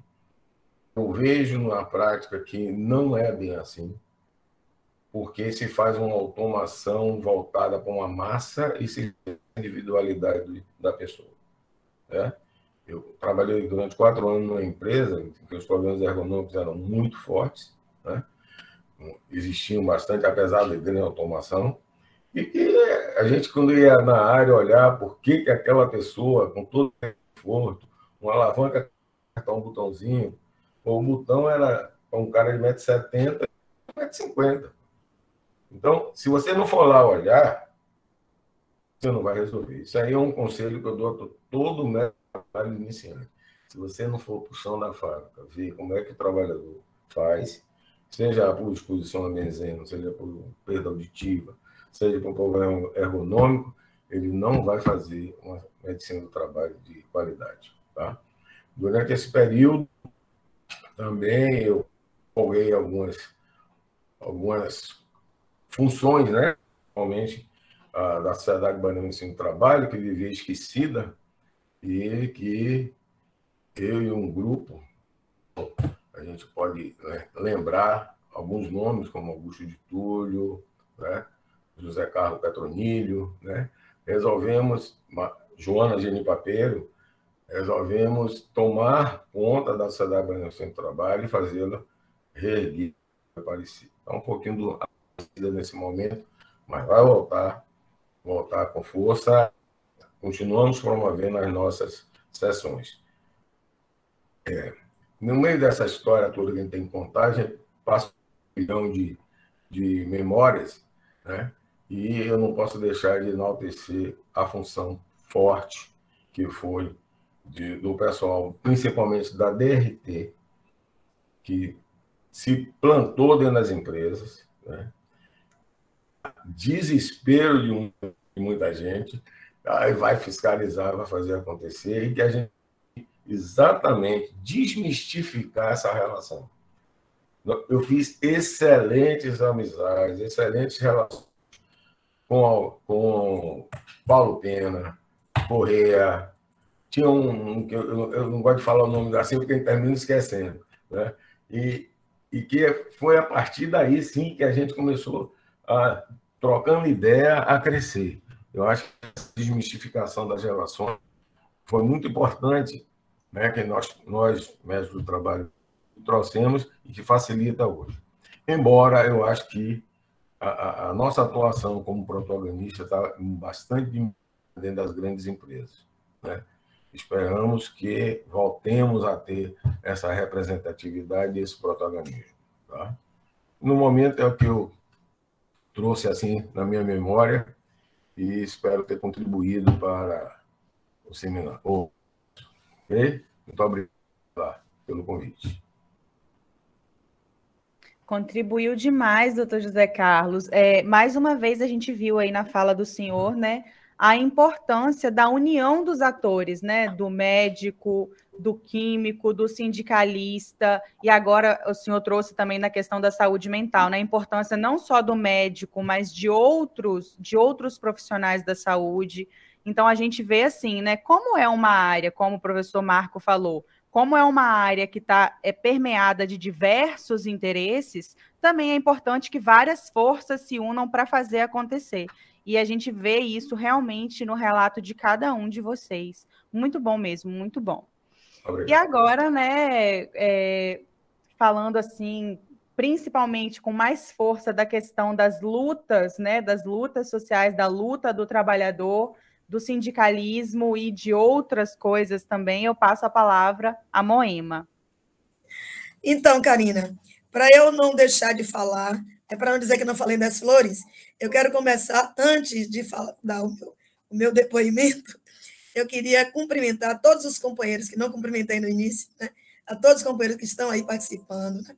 o companheiro é, Albertinho, da Fundacentro, o companheiro Paulo Pena, o companheiro Marco Rego, o José Carlos Ribeiro também, que foi médico do trabalho, tá? e quero dizer que eu brinquei anteriormente, mas com um sentimento muito grande, que está faltando nessa mesa, estão faltando várias pessoas, mas em especial está faltando ele, Luiz Carlos Corrêa, que foi um dos grandes companheiros que também começou tudo com a gente. Tá? Mas eu queria citar que também deviam constar né, como protagonistas desse processo né? a doutora Mônica Angelim, Rita Rego, Norma, Marília, Sola, né? Salvador Brito, Débora, Carminha, grande companheira Carminha, tá? e tantos outros que deram contribuições importantes, como Letícia, Minacato, bem lembrada aí, por Albertinho. Então, eu prefiro falar no início, senão depois a gente acaba não falando, e acho que é muito importante a gente agradecer a essa turma que teve um papel importantíssimo. Foi, na realidade, um marco né, de transformação é, da saúde do trabalhador no estado da Bahia e que influenciou de forma muito significativa na mudança de concepção sobre saúde do trabalhador no Brasil. Eu acho que a Bahia ela foi protagonista desse processo de é, transformação da saúde do trabalhador. Tá? Então, é, feita essa, essa colocação, eu queria dizer que eu eu entro no polo, entro na fábrica para trabalhar em 1977. Moema, só um minutinho. Pois Albertinho, não. acho que quer fazer um adendo à sua fala. Pois não, Albertinho, fica à vontade. Moema, como você fez uma lista e você estava com medo de esquecer, foi mesmo. Eu, eu, já falei dela, mas passou bem rapidinho. Eu acho que é a doutora Tânia Magalhães, né? Que foi a primeira. Com né? certeza. Né? É, que foi para o grupo da Itália com para o CESAT, né? Com essa isso. missão do, de implantar o ambulatório. Mas Paulo vai com certeza trazer isso. Foi só isso. Obrigado. Mas muito bem lembrado. Eu anotei aqui, mas sabia que ia ficar faltando alguém. Mas então, eu entro, no, entro na Tibraz, né, que fazia parte do polo petroquímico, não necessariamente na mesma região, mas fazia parte do complexo, né, em 1977. E já em 1978 eu começo a participar do movimento sindical, né, do sindicato, através do Sindiquímica, antes é, através da Associação Proquímicos, que depois se transformou em Sindiquímica, tudo junto. E desde lá que eu, eu, eu senti uma indignação muito grande, porque, como eu vinha de escola técnica federal, né, e já fazia, inclusive, faculdade, fazia biologia na Católica, e quando eu entrei na fábrica, eu podia é, ter um, um refeitório para almoçar, eu tinha todas as, todos os equipamentos de proteção individual, e eu via na fábrica essa diferença que se fazia com os trabalhadores que na época não eram chamados terceirizados, eram trabalhadores de empreiteiras. Né? E os trabalhadores de empreiteiras, eles bebiam água no capacete, suado da produção, e comiam lata de leite. Né? É como se esses trabalhadores eles não fossem, é, digamos assim, é, não tivessem que ter a consideração de, de dignidade humana né? É, em relação aos demais trabalhadores que faziam parte do, do emprego formal da fábrica. E eu falo isso, e, e, porque falei também já muitas vezes, porque sei que depois a gente contribuiu para a mudança de comportamento das empresas nesse sentido. E é, foi isso que me fez né, cada vez mais é, atuar no movimento sindical. Tá? Então, foi assim que eu começo a participar do Sindiquímica e depois, juntos, ajudamos a construir a CUT. E no Sindiquímica, quando eu entro para fazer parte da direção, a gente se debate com tudo o que acontecia nos demais sindicatos, que era uma atenção é, à saúde, mas não do ponto de vista ocupacional, do ponto de vista assistencialista, como era, né, de fato, a maioria das empresas que tinham um médico do trabalho, mas o médico do trabalho, me desculpa, Zé Carlos, se eu estiver falando alguma coisa errada, mas o médico do trabalho era muito mais para garantir que os trabalhadores estivessem lá exercendo a sua força de trabalho do que para analisar se havia qualquer correlação entre as condições de trabalho e a saúde, ou necessariamente já com a doença. Então, era o trabalhador que adoece, ele ia para o médico do trabalho para saber se ele tinha ou não condição de permanecer trabalhando ou se ele teria que ser é, conduzido é, para um médico ou ir para casa. Não necessariamente para é, investigar se aquela comorbidade, aquela doença tinha a ver ou não com a relação de trabalho. Isso não era um mal do polo, e, e quando eu falo é, que eu fiz parte do Sindiquímica, a direção, é bom lembrar que o polo petroquímico ele passa a ser protagonista pela importância econômica que o polo petroquímico tem, tinha e tem no contexto da Bahia. Mas o Sindiquímica, a gente, trabalha, a gente tratava de trabalhadores que é, exerciam a sua profissão, seja em Feira de Santana, nas indústrias de feira, no Centro Industrial de Aratu, é, indústrias de material plástico também, é, e demais indústrias também soltas pela, pela capital e pelos demais municípios, e do polo petroquímico. Tanto assim que a fábrica que eu trabalhava não era no polo petroquímico, era em Arembebe, mas fazia parte do sindicato patronal ligado ao polo petroquímico.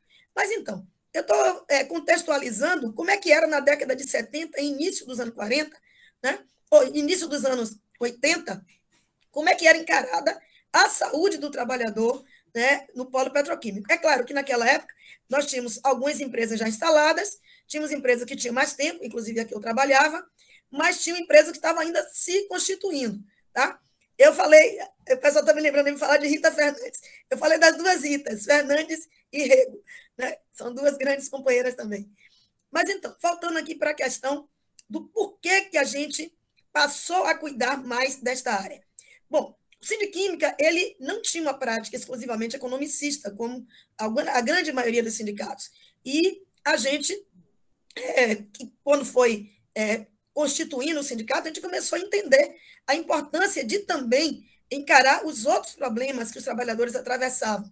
Tem um que me parece que ainda não foi colocado, que é a própria questão do trabalho em regime de turnos, né, que também criou uma série de problemas para a classe trabalhadora como um todo, obviamente, foram soluções, foi muito importante para a classe trabalhadora, mas do ponto de vista da saúde, também criou alguns transtornos, né, do ponto de vista psicológico, do ponto de vista da, do, do, metabolismo do corpo, né? Na hora que tinha que estar dormindo, era a hora que tinha que estar é, mais atento para as questões, por conta de trabalhar em áreas perigosas e tal.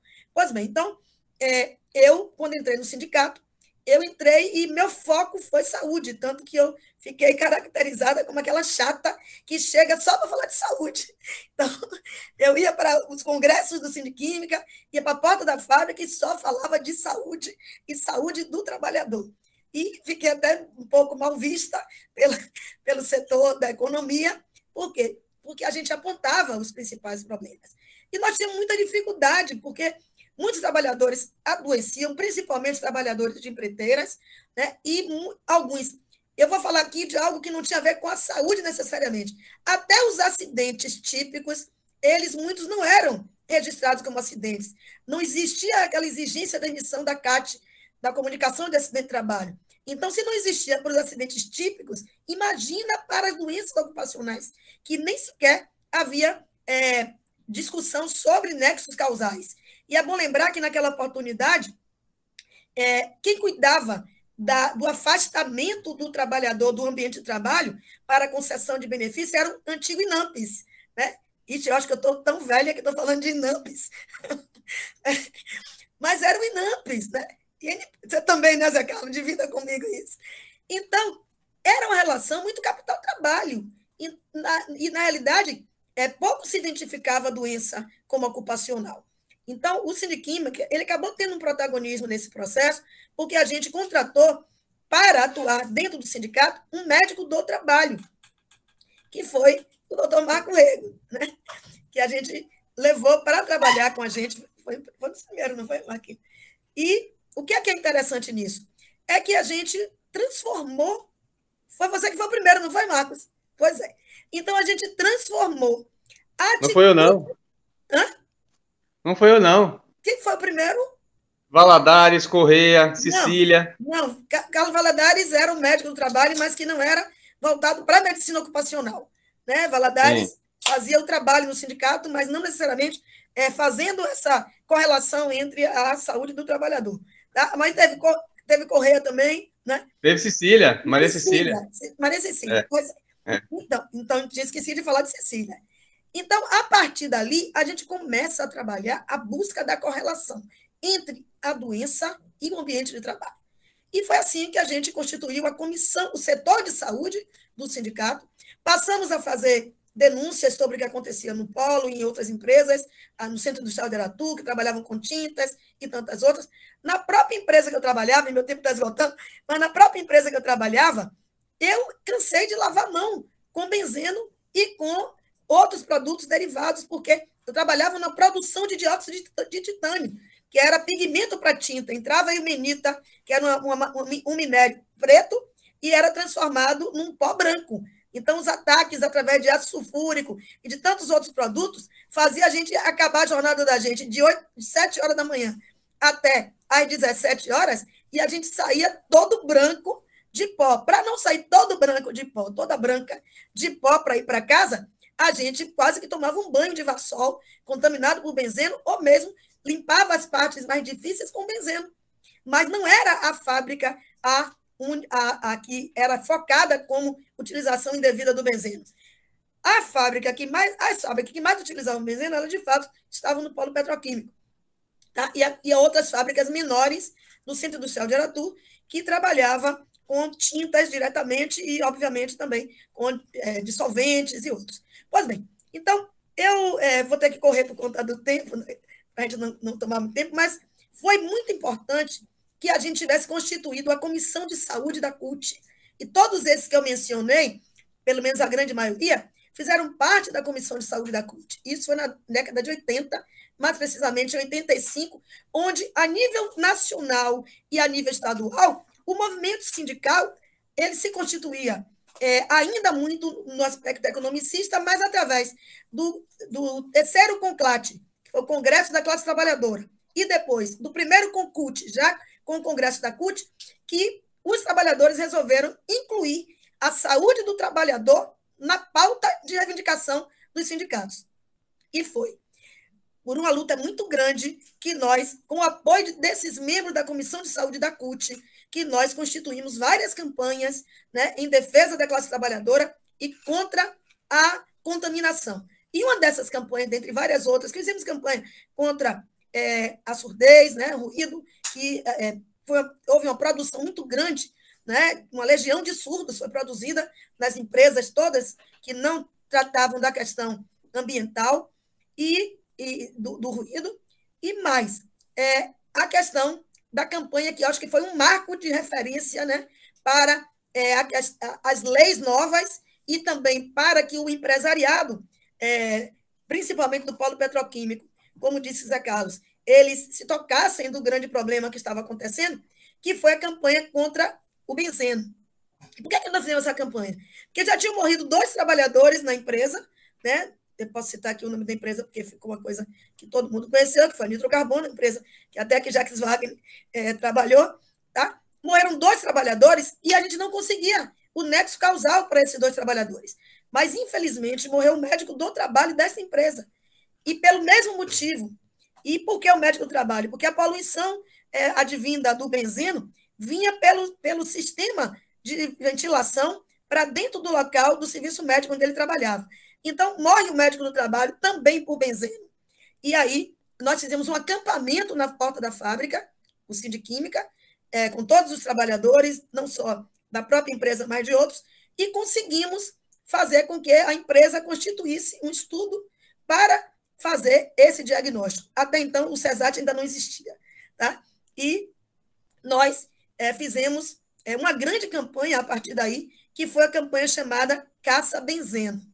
Com essa campanha, a gente, iniciada pelo Sindiquímica na Bahia, nós conseguimos é, é regimentar o pessoal de Volta Redonda, o pessoal do Sindipolo no Rio Grande do Sul, o pessoal do Espírito Santo, e fizemos uma grande movimentação nacional para que nós pudéssemos alertar, é, não só na Bahia, mas em todos os lugares onde se trabalhava com benzeno, a necessidade de enclausurá-lo ou de é, retirá-lo de circulação. Como não podia retirar de circulação, que pelo menos ele ficasse enclausurado. E a gente conseguiu, a partir daí, mudanças, inclusive na lei, né, nas normas regulamentadoras, colocando, de fato, o benzeno entre as, a relação de agentes cancerígenos, que até então não, não estava, o benzeno não constava da relação de agentes cancerígenos, e foi a partir desta luta nossa que a gente consegue incluir o benzeno na lista de agente cancerígeno e conseguimos, pelas vários, várias negociações, porque a relação do Sindiquímica com o sindicato patronal era uma relação é, saudável do ponto de vista de negociar, de sentar, negociar. Tinha muitas greves, tudo, tinha conflitos, mas também tinha negociação. Né? E nessa negociação, a gente conseguiu fazer com que houvesse uma mudança também de concepção por parte do setor empresarial e começasse a investir mais na prevenção. Antes nós tínhamos só as CIPAs, né? E as CIPAs, que eu também participei de várias, elas não cumpriam um papel nessa defesa da é, de, de, correlação de nexo causal com a doença do trabalho. Era muito mais voltada para os acidentes típicos. Por isso que nós constituímos as comissões de saúde nas empresas, mas que nem todas a gente conseguiu implantar, mas fizemos isso através dos sindicatos. O Sindiquímica puxou o SINDAI, que era o Sindicato de Água e Esgoto, e depois puxou outros sindicatos que constituíram as suas comissões de saúde, e constituímos a Comissão de Saúde da CUT, que teve um papel fundamental nesse processo de participação organizada na luta pela reforma sanitária e o marco que traz para a gente um elemento é, de diferencial foi é, a oitava Conferência Nacional de Saúde, onde ficou chamada como a Conferência da Reforma Sanitária, onde ali a gente coloca a necessidade da Constituição Cidadã de 88 incluir a saúde do trabalhador no Sistema Único de Saúde, através do SUS. Então, esse foi um marco também importante na luta da classe trabalhadora baiana e brasileira e de fazer com que a Constituinte inserisse a saúde do trabalhador. E daí, para chegar ao CESAT, foi um pulo. Tá? Então, por que também? Porque nós tivemos um governo muito mais de centro e esquerda, que foi no governo de Valdir, que conseguimos constituir e criar o CESAT.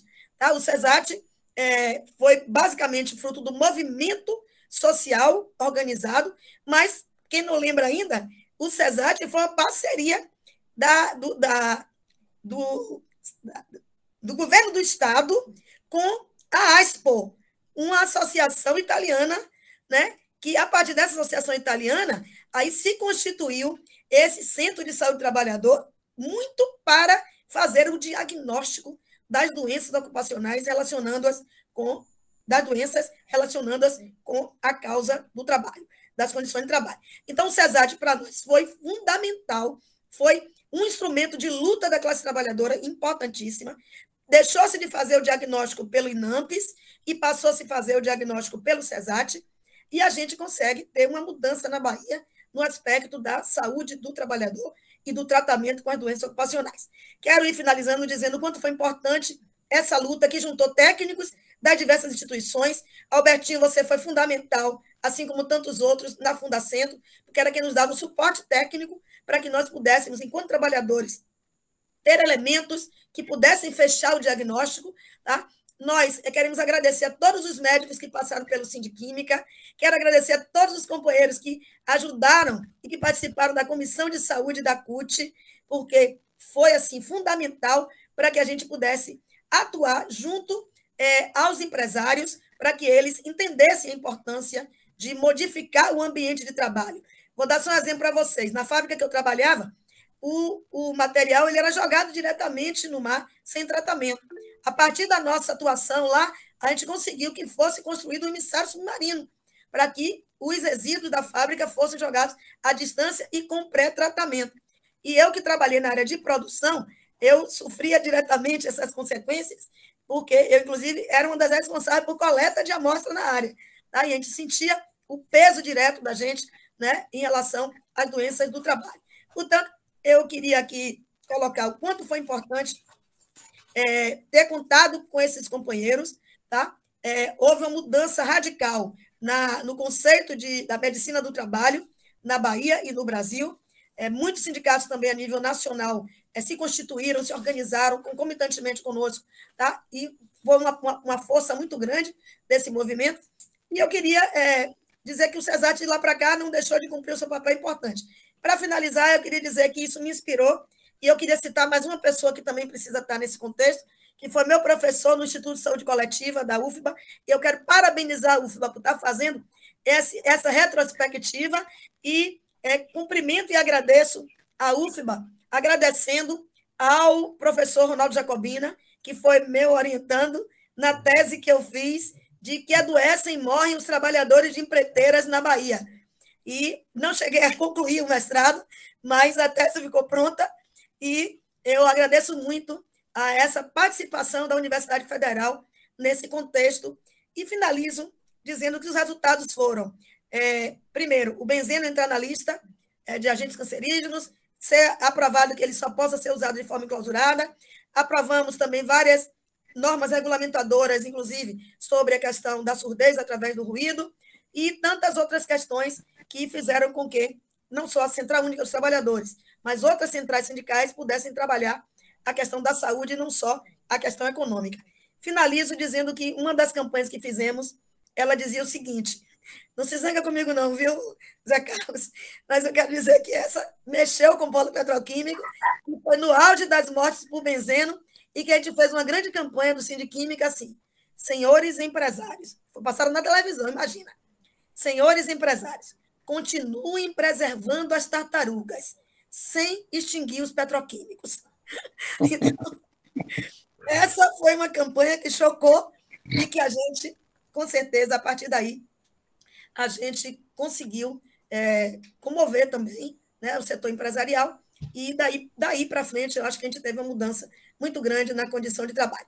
Em que pese eu ter conhecimento que voltamos de novo a ter alguns problemas é, em várias áreas, não necessariamente no polo, houve um recrudescimento da luta sindical também, e a nossa meta é não só continuar defendendo o sistema é, público de saúde, o SUS, fortalecido pela Constituição Cidadã, mas, ao mesmo tempo, fazer com que cada vez mais a saúde do trabalhador seja debatida dentro das empresas e fora dela. Parabenizo o Marcos, que foi é, do CESAT, um dos concursados, né? E parabenizo a todos os demais, e tinha também, que nos ajudaram muito para salvar muitas vidas que antes a gente não sabia é, como identificar que eram doenças ocupacionais. Muito obrigada a todos vocês. Obrigada a você também, Zé Carlos, que tinha uma visão diferenciada dentre os médicos de trabalho das empresas do Polo. Não que fosse é, culpa dos médicos, mas era a, a, a tendência do momento, né, do, do, capital ser muito mais importante do que qualquer outra coisa. E eu acho que hoje a gente já tem uma outra visão. É, a gente que eu falo é o contexto da sociedade como um todo, do que significam as doenças ocupacionais, quantas vidas foram ceifadas, quantas vidas não foram identificadas é, na, no seu momento de serem ceifadas, não foram identificadas como de origem ocupacional, mas que hoje nós podemos resgatar tudo isso é, e fazer uma compensação para que não tenhamos mais trabalhadores morrendo nem por silicose, nem por leucopenia, nem por, nem por quaisquer outras formas de contaminação. Bom, tem uma. O pessoal pediu para lembrar de Norma, Sueli, eu falei Norma também. É que eu falei rápido pelo tempo da mas falei de doutora Norma também. Quando falei de Moniquinha, falei de Norma, tá? E no mais, quero agradecer a vocês, Karina, e a vocês da UFBA por ter nos dado essa oportunidade. Estamos aí na luta. Excelente, Moema. Eu não sei nem o que dizer. Estou aqui, ó, é, encantada com essa história brilhante que a gente vê, né? É, que a Constituição incluiu a saúde do trabalhador, mas a gente não vê os bastidores, né? E você trouxe os bastidores aqui para a gente. E quanto ao professor Ronaldo Jacobina, né, ele não está fazendo parte dessa mesa porque ele está fazendo parte de várias outras, mas muito bom lembrar dele e a gente sabe da grande importância dele também nesse campo. Eu vou passar a palavra agora ao professor, ou ao professor Marco Rego, ou ao doutor José Carlos, quem quiser falar primeiro, que pediu a, a, a palavra ele complementar alguma coisa que me fugiu na hora. Eu, eu comecei falando que trabalhei numa empresa que tinha fogênio. E a grande preocupação nossa era ter um sistema de atendimento. A gente sabia do risco que era, das condições que a fábrica trabalhava e tudo aquilo que era necessário para a gente é, salvar vidas ou evitar mortes. Né? Eu não sei. E tinha um cara mais importante naquela. O objetivo era manter o pessoal vivo e atuante. E uma coisa que o polo petroquímico tem, que é muito raro em, em outros locais, eu falo do mundo, é um local em que o atendimento às emergências efetivamente funciona. Um pessoal treinado, um pessoal dedicado a esse tipo de atendimento. Então, começamos dentro de casa. Eu treinava, junto com o doutor Augusto, que era meu parceiro de, de, de serviço médico, técnico de enfermagem, inclusive, a escutar, para poder ele perceber como estava começando um processo devido ao contato com o produto. 30 anos depois, eu fui convidado a participar de um congresso mundial né, de fongênio que aconteceu aqui na Bahia. Me, ah, você que já trabalhou com vendendo, vai lá era só para assistir. E eu assisti relatos de morte todos os países se apresentaram. Todos. Todos. Estados Unidos, Argentina, na França, é, na Europa, vários países. Né? E você sabe que baiano se incomoda com essa questão e baiano é barrista. Né? Todos tinham caso de morte, eu não tinha nenhum. Né? E eu não, não aguentei aquilo e fui lá e falei: olha, nós não temos nenhum caso. Não é milagre, não. Sabe o que é? é treinamento. É dedicação. Nós treinamos desde o técnico de enfermagem até os médicos que atendem lá fora. Nós tínhamos em treinar da, da clínica cardiopulmonar, pessoal que ainda existe até hoje, né? Um convênio para encaminhamento desse pessoal. Então, essa maneira proativa de proteção a gente tinha muito, e graças a ter do COFIC, essa cultura de ter as comissões, tinha a comissão médica, a comissão de segurança, a comissão de RH, é, e as comissões. Eu não sei, se não me engano, acho que tinha uma comissão de. Depois foi criada a comissão de higiene junto com a de segurança. No seu tempo, não, Alberto. Uma puta nossa muito grande que ocorreu há uns 10 anos. Uns 10 anos. Então, é, esse é exemplo que eu acho que a gente a gente tem que estar tá passando para todo mundo ver a proatividade. Graças a Deus, não temos mais nenhuma fábrica com nenhuma fábrica com TDI no polo petroquímico. Agora é problema da Índia, de outros lugares aí que está fabricando e mandando para cá o produto final. Era só complementar com essa, essa situação, que eu acho que é muito importante que fique essa atuação naquela época. Tá? Obrigado, Karina. Desculpe, Marquinhos. Obrigada, doutor. Antes, mas eu falei primeiro. Pode falar agora, Não. Você falou primeiro, e você me lembrou uma coisa que eu tinha esquecido da história, né? Eu fui técnico em Química e trabalhei na, nessa empresa, na, com TDI, com Fogênio, sim, senti muito sim, cheiro. É verdade, é verdade, é verdade. E foi muito útil depois, como médico do trabalho, tendo conhecido o chão da fábrica, né? Ter lidado Isso. como trabalhador no laboratório químico. Mas eu tinha me inscrito antes para falar com o Moema, é, dá, um, dá parabéns especial para a Moema por conta de que foi uma, foi uma guerreira, uma batalhadora, né? Eu me lembro que a época tinha um slogan que era assim, tem mulher no sindicato para fazer justiça, que é tudo homem, né? Para fazer justiça tinha a Maísa também, uma grande lutadora, batalhadora, junto com Moema pelas questões ligadas à saúde do trabalhador. Tinha quatro. Tinha Margarida. Pronto, enfim, mas que eu lidava mais de perto com essas duas. Moema, na verdade, Celinha, foi para mim uma. Celinha, Leninha, Maís Moema. Pronto. Bem, bem lembrado. Mas Moema, para mim, foi uma. Eu tinha a questão técnica da formação, a Moema foi uma grande professora por, por essa integração com as questões mesmo do trabalho, né, do chão da fábrica. Não é à toa ela, como professora, que ela, por um lapso, disse que Jacobina foi orientando dela. Na verdade, Jacobina. Jacobina sentiria orgulho de ser orientante de Moema, com certeza. Por outro lado, eu queria é, também lembrar uma, uma homenagem aqui. Moema trouxe muitas pessoas, mas que foi um ator muito importante que a gente não pode esquecer nesse momento, que foi Paulo Moraes, né?